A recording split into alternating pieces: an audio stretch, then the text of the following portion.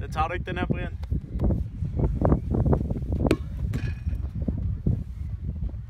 Sure.